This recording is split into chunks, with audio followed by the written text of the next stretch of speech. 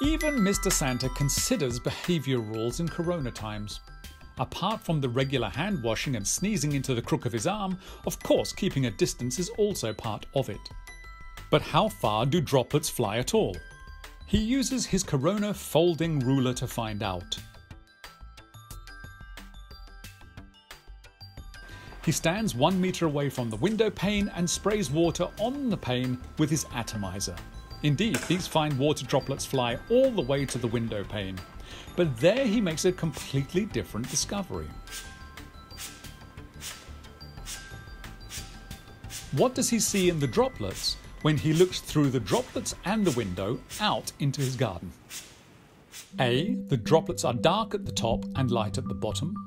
B. The droplets are light at the top and dark at the bottom. C. The droplets are completely dark.